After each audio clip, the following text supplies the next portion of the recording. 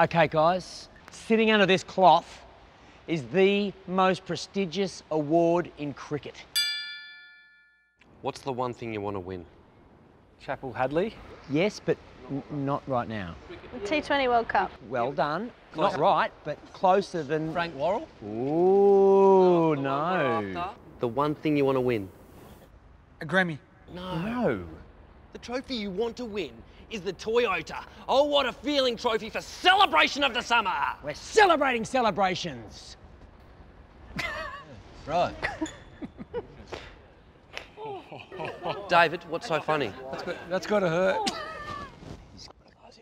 Oh, grow up. Where else was I supposed to mount it?